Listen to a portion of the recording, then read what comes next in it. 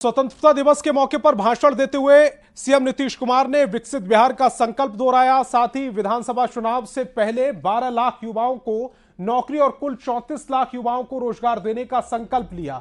CM के इस बयान पर बिहार की सियासत गर्माती दिख रही है।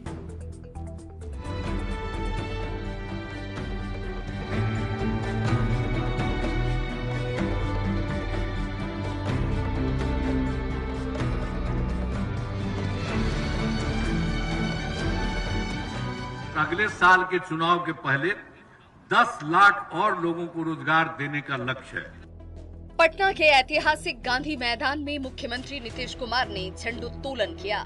इस मौके पर सीएम नीतीश कुमार ने बहुत बड़ा संकल्प दोहराया। सीएम नीतीश ने बिहार को विकसित बनाने का संकल्प दोहराते हुए विधानसभा चुनाव से पहले 12 लाख युवाओं को नौकरी और कुल 34 लाख युवाओं को रोज़गार देने की बात कही।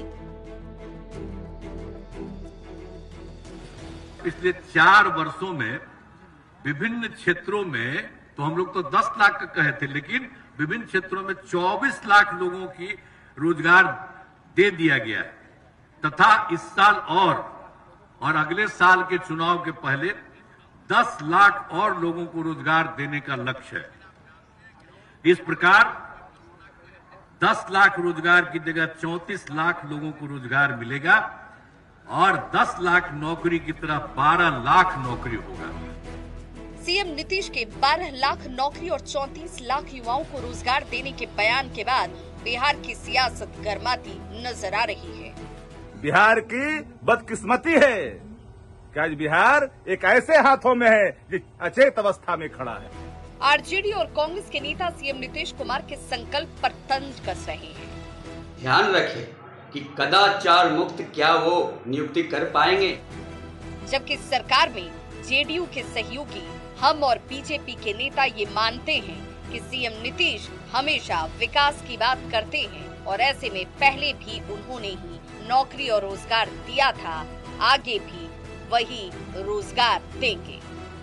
बारह लाख नौकरियाँ देने इसमें कहीं कोई ये नहीं है क्योंकि वो करने वाले आदमी हैं अगर उनको हर तरह से सहयोग मिलेगा तो निश्चित वो करेंगे ऐसा हमको विश्वास है। बिहार के माननीय मुख्यमंत्री नीतीश कुमार जी ने आज स्वतंत्रता दिवस के अवसर पर गांधी मैदान से बिहार के नौजवानों के लिए रोज़गार की बात क्या की कि राष्ट्रीय जनता दल के कलेजे पर सांप लौटने लगा।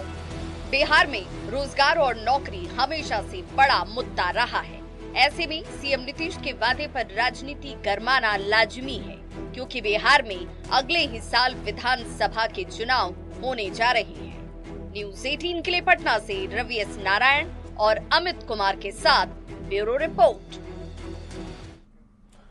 तो रोज़गार पर सियासी वार पलटवार को भी समझ लीजिए।